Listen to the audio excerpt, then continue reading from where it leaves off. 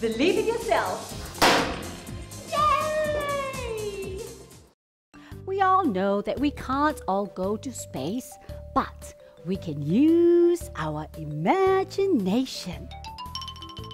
So if you're ready, let's travel!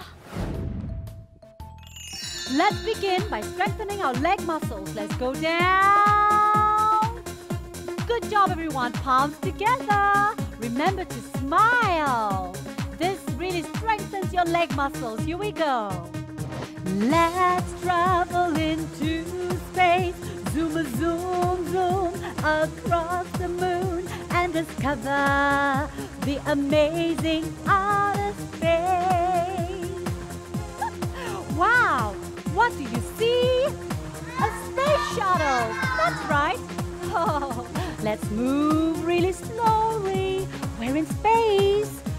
Remember to balance. What else you see?